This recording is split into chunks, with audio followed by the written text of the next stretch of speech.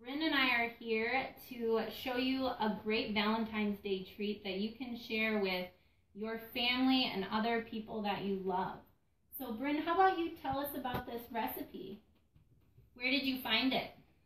So, a friend in my class named Aiden G, it was library day when I found this in the library. I couldn't find a book that I really, really wanted, and he helped me find this. Yeah, and we had already talked about making some special Valentine's Day treats, right? Yeah. And so you were so thoughtful. You saw this and you came home and you were so excited to show me that you had found a book with Valentine's Day treats. And I thought that was so cool because I love when we get to do decorations and recipes together. And Valentine's Day was the first category. Yeah, that's pretty cool. But we looked at the recipe and it has some not so good ingredients. It like, yeah, what is it? What are some of the not so good ingredients? It's hard to read upside down, red right? deckers and candies. Yeah. Some of the toppings, like I'm sure you can see in this picture, we all know those are pretty much pure sugar. And they have food colorings that are chemicals. And you even have a friend at school that's allergic to those colors, right? From kindergarten. His name is Brody. Yeah. But we figured out a way to make a delicious red velvet brownie that doesn't have gluten, it doesn't have refined sugars, and it doesn't even have any artificial colors or chemicals. Exactly. Bryn's really excited. She actually, we had to put this together, and so she already had, you know, some practice brownies. She was really getting into the role. she did a really good job. And what do you think? It was delicious. Good. All right, so how we are gonna make these brownies, you wanna um, shift your chair so that you can put these together. Yes. Awesome. So we are gonna start with, and I'm gonna be looking at my recipe quite a bit, but we are gonna start with the butter. Yep, go for it. Good job. And this, I have grass-fed butter here. Um, in my other videos, I know I've talked about my love for grass-fed butter, but just again, if you haven't seen those, I really like grass-fed butter because it contains vitamins A, D, and K2. Here, I'll give you this spatula. Thank you. You're welcome. Um, I really like that over regular butter and especially over margarine because if you're going to have fats, you need to have fats that are going to serve your body and your body needs those vitamins for your brain and bones. Good job. Then we have the cocoa. And of course, cocoa's delicious. Um, but if you want some fun nutrition facts about it, cocoa is also rich in magnesium and antioxidants. So, you know, that's probably a lot of the reason when people say eat a bunch of cocoa or chocolate, it's good for you. Um, they typically mean over 70% cocoa, but you know, to each their own. And then let's see. Ah, the sweetener. So, Bryn, you can mix in the coconut sugar. Um, for this recipe, you could either use um, two. So I have two sweeteners here. I have monk fruit. How would you mix them? Oh, so can you put that down? Oh. Oh, good job. Okay, and then we'll lock it. And then, do you want to? Two. Yeah, let's try two. Good job. That's great. So we used coconut sugar because I didn't have enough monk fruit to use for this, but I really like monk fruit because it's no calories, it does not affect your blood sugar, it has vitamin C, and it tastes like sugar. Um, so I think this is a really good option for people.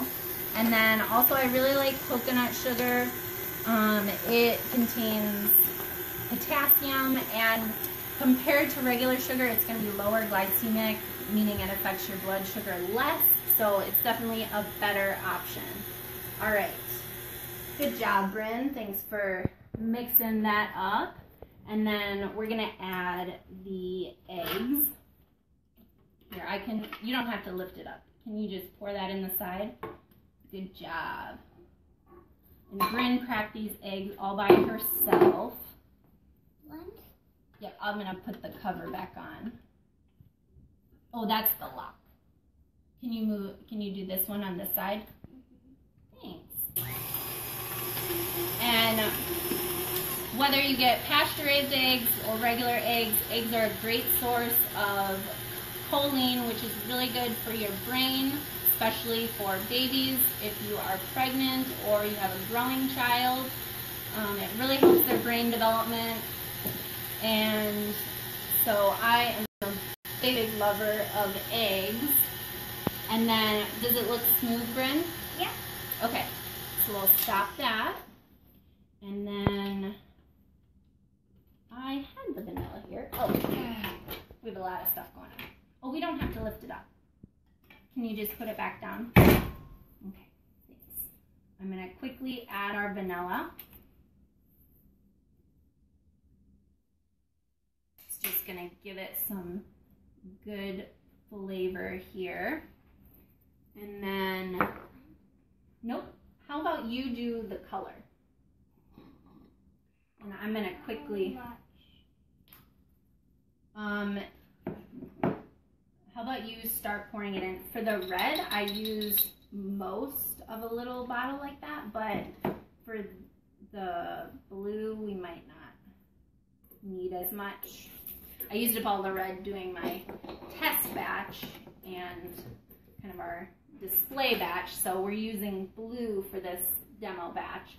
But what I want to tell you about the colors is I really like this India Tree brand, and you can get it on Amazon. All um, the products I talk about and the recipe will be on my blog, functional-foodie-nutrition. Um, but India Tree is a really good brand because all the colors are from plant sources, and so if your kid is sensitive to colors or you just don't want to be feeding them chemicals, this is a really good, really popular brand, and they work really well. So, now you can blend that up. That's the lock. Just do that.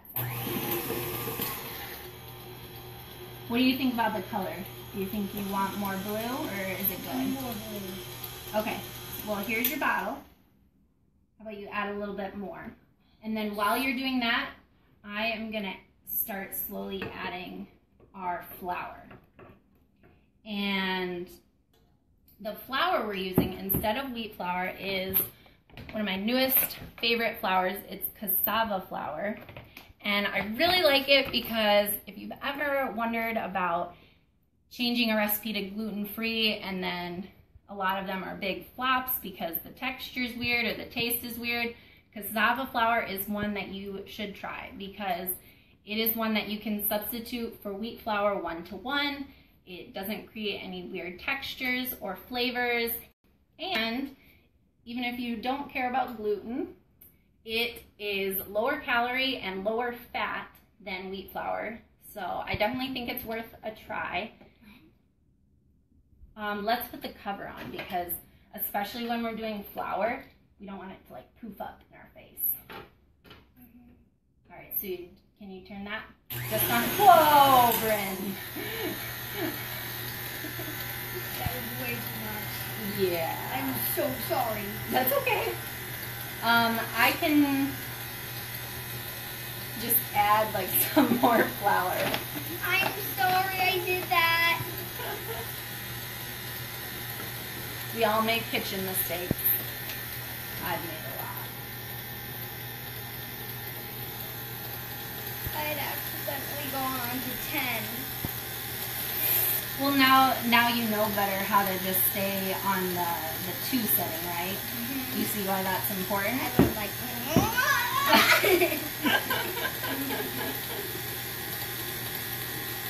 I'm a mess. All right, so we're getting that mixing. And as you saw, you should start it on a low speed. See, I'm making a mess too. And you should also add your flour slowly for several reasons. And um, we'll add, I think in the midst of everything, I forgot to put in the coconut milk. And you can use regular milk. It's really not a big deal. I really like coconut milk. Bryn likes coconut milk. We opened it up earlier and I caught her drinking from the can because she really likes it. We make the banana ice cream with coconut milk, hot chocolate.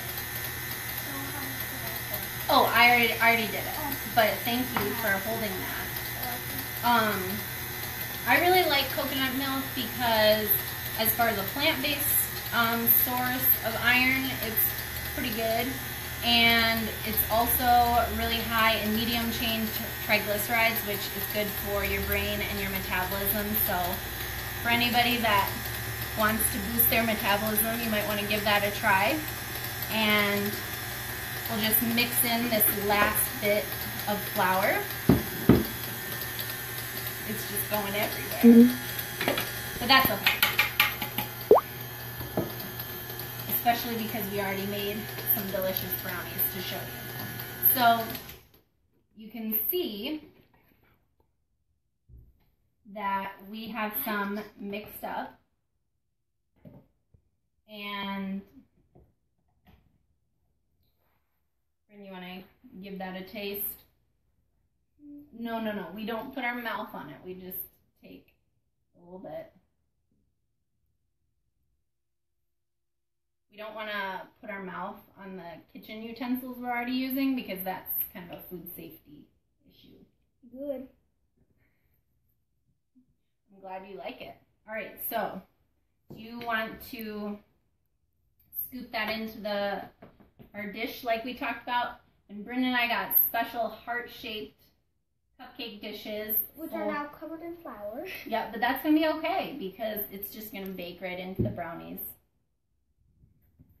Um, and so we are just going to put that into our pan right here.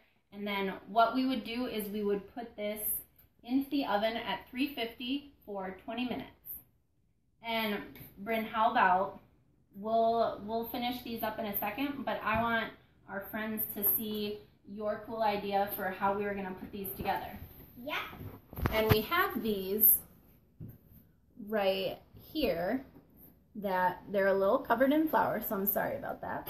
But you can see this one is a one that we already made. And that's not how Bryn's gonna do it. Bryn's gonna do it a super cool, special way. And make sandwiches. Yep. So tell us what you're doing, Bryn.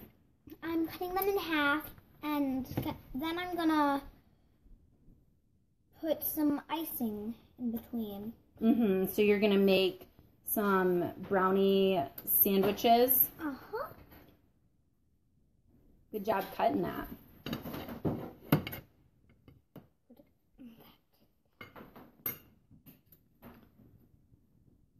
All right, so let's get some icing in there.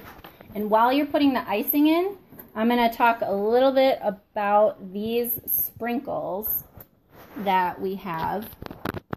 So typically the sprinkles that you would have, they're of course pretty much sugar. But then also if you read your label, you will of course have colors and you will also have this ingredient called confectioner's glaze. And from being in, I'll say from doing my time in the food industry, I know that confectioner's glaze is basically lac beetle. And so that's probably not something you want to be, it doesn't sound very appetizing, we'll say. So if you want healthier options of sprinkles, the India Tree brand of the color that we talked about has some really good options. I couldn't find those at Whole Foods when I went shopping there, but you can get them on Amazon. And again, all these links will be in my blog post. But these are what? Let's Do Organic Sprinkles. And I found those at Whole Foods. And they are just evaporated cane syrup, tapioca starch, and plant-based um, plant-based colors. Hey, Bryn, do you want to put some sprinkles on your sandwich? And then yeah. we'll do that real quick. And then I'm going to ice one up too. And we'll enjoy these. So thank you guys so much for watching. I really appreciate it. I hope that you found this helpful either as just a recipe to try with some people that you love on Valentine's Day, or maybe you found some ideas for how to make some recipes in your life a little healthier. If you have other recipes you'd like to see kind of healthified, comment in the um, comment down below and let me know. And we hope that you guys have a great night and that you plan a wonderful Valentine's Day. Thank you for subscribing. Thanks.